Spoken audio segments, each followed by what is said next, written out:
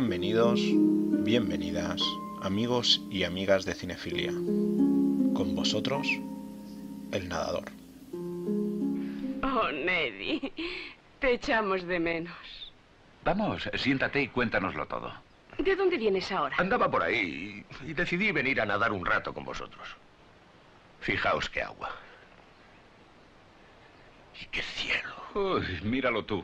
Creo que todo el mundo bebimos demasiado anoche. Fue el ron. Yo me harté de ron.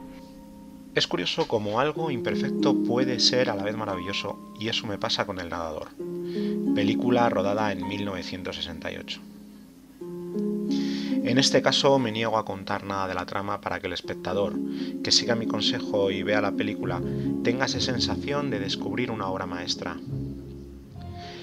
Pero a pesar de no desvelar nada de la historia del film, y aconsejo no buscar más información hasta que no sea vista la película, vamos con unos datos que creo que os pueden ayudar a decantaros para ver esta prodigiosa obra. El nadador nos sitúa en las casas de campo más elitistas de Connecticut, donde un publicista de éxito, pasada ya la juventud y metido en la cincuentena, Ned Merrill, está dándose un baño en la piscina de unos amigos. Pronto cae en la cuenta de la proliferación de estas piscinas en las casas de sus vecinos, y es entonces donde piensa que podría llegar a su casa nadando de piscina en piscina como si fuera un río. Y a modo de reto personal se decide a llevarla a cabo. Y hasta aquí puedo leer.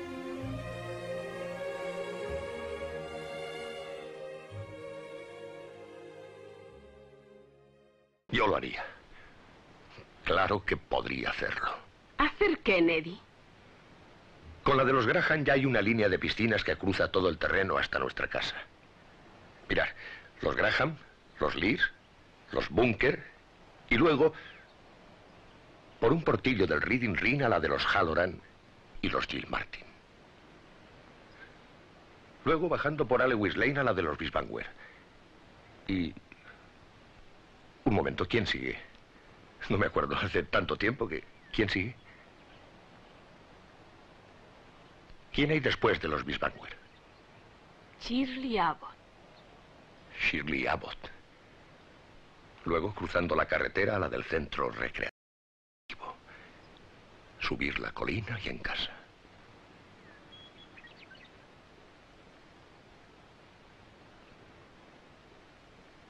¿No lo habéis entendido? Se me acaba de ocurrir. Si doy un rodeo hacia el sudoeste, puedo ir nadando a casa.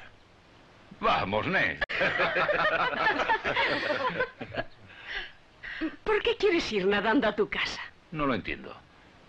Piscina tras piscina forman un río hasta nuestra casa. La película se basa en un relato corto de John Cheever, y es quizá este relato corto la mejor obra del escritor. El director de cine Frank Perry y su mujer, la guionista Eleanor Perry, deciden crear una película sobre el relato. Eleanor Perry, 15 años mayor que Frank, es una guionista muy eficaz y hace del guion del nadador una auténtica obra de orfebrería. Por su parte, Frank es un director pasable, y es quizá esta falta de pericia lo que hace que el film no se convierta en un éxito mundial. Pero ya llegaremos a este asunto. Frank Perry contacta con Sam Spiegel para producirla. Sam Spiegel es una leyenda del cine, productor de obras tan importantes como La Jauría Humana, Laures de Arabia, El Puente sobre el río Kwai, entre otras. Este, enamorado con el proyecto, se pone manos a la obra y comienza la producción del film. El peso de la película la tiene que llevar un personaje único, Ned Merrill, y necesitan de un actor de primer nivel para que asuma la identidad del publicista cincuentón de la obra. Barajan varios nombres, desde William Holden, Glenn Ford, Paul Newman y hasta George. Scott. Pero es al final Bart Lancaster el elegido. Bart, encantado con el personaje, da un sí rápido a la producción. Pero su papel no solo conlleva un trabajo interpretativo fuerte y difícil, sino también físico. Ned Merrill durante toda la película usa solo como vestimenta un diminuto bañador de natación, lo que le obligó a ponerse en forma. Hay que recordar que en la fecha del rodaje Bart Lancaster tenía 53 años y tuvo que entrenar durante meses muy duro para conseguir la forma física que el personaje requería. Dicen, no sé si es verdad, que llegó a conseguir 9 kilos de masa muscular. Con el reparto cerrado, una mezcla de estrellas del celuloide como Bart Lancaster o Janis Rule, que había trabajado con Spiegel en la jauría humana, nos encontramos a promesas como la joven actriz Janes Langar o un jovencísimo Marvin Hamlis de 24 años, que será el creador de la banda sonora. Hay que decir que Hamlis, que se estrenaba en el film en el séptimo arte, ha sido varias veces ganador del Oscar de la Academia, creador, entre otras obras, de la grandiosa música del golpe, tal como éramos, o Chorus Line. Comienza la preproducción del film y empiezan los problemas. La película necesita de un montón de localizaciones exteriores de chalés de alto standing con piscina.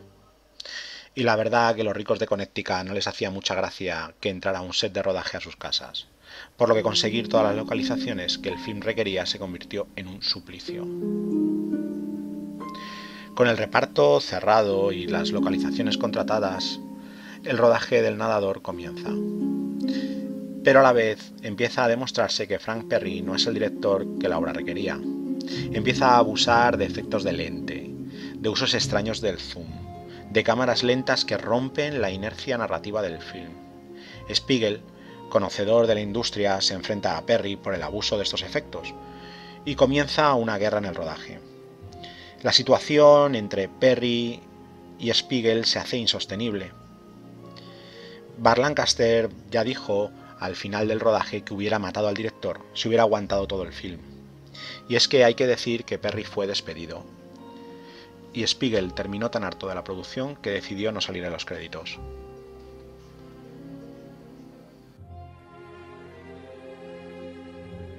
La obra en su parte final se tambaleaba. Sin dirección, sin productor, el acabar el film era una utopía, pero Bart Lancaster no se iba a quedar de brazos cruzados puso 10.000 dólares de su bolsillo y se contrató a un joven director de televisión llamado Sidney Pollack. El grandísimo director de Indiana, que por aquel entonces tenía 34 años y una nula experiencia en el cine, toma con maestría las riendas del film y a pesar de no salir acreditado en los títulos de la película, hace un trabajo soberbio y le da el broche final a la película. Hay que recordar que Pollack un año después estuvo nominado a los Oscars por Danzad, Danzad Malditos. Pero siempre se ha sentido orgulloso de la película que le abrió las puertas del séptimo arte. Tras todas las peripecias recorridas, llega la hora de montar la película y nos encontramos esas cosas que solo pueden ocurrir en este género. Resulta que los planos rodados por Perry de una forma casi amateur y los de Pollack dan una estructura perfecta al film, onírica e ingenua al principio y dura y despiadada en la parte final. Lo que habían sido errores se convertía en un valor imposible de encontrar. Las dos visiones de los dos directores tan diferentes hacían del nadador una película perfectamente imperfecta. Es por eso por lo que solamente puedo otorgarle un 10. Recomendada a todo el mundo, da igual el cine que te guste. Eso sí, plantearos la película como una natación de gran distancia. Por lo que tener paciencia, y el móvil lo más lejos posible. El final del film es una recompensa que vale oro. Por si a alguien le queda alguna duda, Bart Lancaster, que puso su talento en películas como De aquí a la eternidad o El gato pardo, entre otras muchas otras, este film, El nadador, es su obra favorita. Es, según sus palabras, de la que más orgulloso está. Son palabras de Bart Lancaster.